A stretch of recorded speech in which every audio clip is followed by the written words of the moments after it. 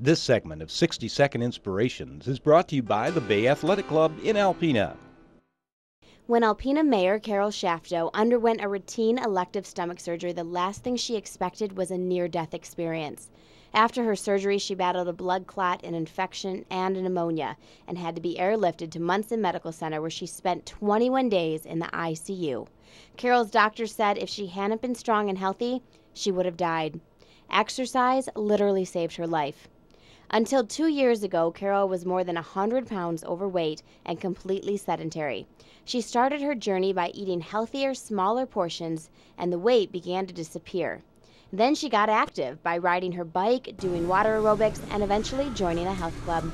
At the age of 60, Carol finally discovered how to make exercise fun and a part of her busy lifestyle.